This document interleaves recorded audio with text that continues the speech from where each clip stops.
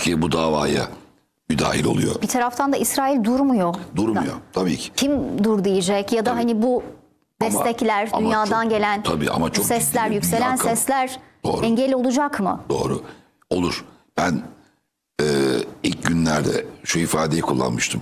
Vay be insanlık öldü herhalde. Bu kadar bebek öldükten sonra hala dünya hayattaysa ve yarın tekrar olacaksa Evet. biz tekrar kalkıp sabahleyin yaşayacaksak yaşamayalım dedim. Nasıl bir dünyadır bu? O zamanlarda şöyle bir ifade kullanmıştı o zamanki konuğum. Hayır insanlık ölmedi. İnsanlık ölemez.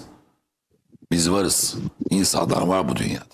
Zalimler de var. Ama e, sonuçta zulm ile ab- abad olunmaz. Bir şekilde gerek galebe çalacaktır insanlık.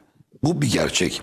Ve hiçbir zalim yoktu ki dünyada bedelini ödemeden ölsün. Hep bedel ödemişlerdir. Sadece zalimler, kişilerden bahsetmiyorum. Kavimler, milletler hep bir karşılığını görmüştür. Hatta bir örneği vardır. Nedir o? Yahudiler. Bakın dünyada hiçbir coğrafyada bu kadar çok kovulan, bu kadar çok istenmeyen millet yoktur. Bu, bu, bu bir şey mi kastediyorum yani soykırımın? Yo ben soykırım falan demiyorum.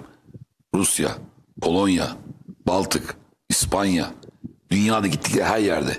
Çok önce de İslamiyet döneminde bakın İslam tarihine bakın. Yahudilerle anlaşıyor. Mekkeliler, Medineliler her defasında karşı tarafa geçip bir kalleşlik yapıyorlar.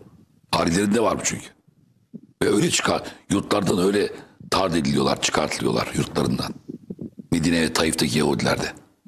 Çok eski, en eski tarihte bildiklerimiz, kaynaklarımızda olan gerçektir bunlar. İnanmak istiyorum zalimlerin de cezasını O şimdi Rusya'da öyle. Biz bize gelen e, o seferat Yahudi nereden geldi? İkinci Dünya Savaşı'nda bize kaçanlar nereden geldi? Oradan bize de gelenler çok daha öncesinden Endülüs'te, İspanya'da yaşadıkları. Şimdi ve bu millet şu anda bunu yapıyor. Evet. Bir e, yani daha doğrusu aslında şöyle diyelim ayıralım onları da. Bugün Mahmut Abbas özellikle ondan da bahsetti mesela. Karşı koyanlarla. Ortodoks Yahudilerden bahsetmiyoruz. Yani Yahudi Yahudilerden bahsetmiyoruz. Evet. Siyonistlerden bahsediyoruz. Hiçbir şey 200 yıldan fazla değil. Siyonizm başka bir şey. Ve e, şu anda yani Mahmut Abbas işte o arşivlere baktım baktım ve aklımdan şunu geçirdim. O arşivlerde siyah beyaz arşivlerde bir katliam izledik. Değil mi? Gördük. Hala görmeyi de bazı çoğu tabii kayıtlı değil o dönemlerde. Her tarafta bir film makinesi, bir fotoğraf bulmak zor. Fakat binlerce sa- e, saat süren videolar, fotoğraflar, görüntüler, konuşmalar, bombalanma halleri binlerce saat. O tarih geldiğinde bunlar hesap verirken başta katil Netanyahu olmak üzere bu katil sürüsü, katil çetesi hesap verecek Meltem Hanım.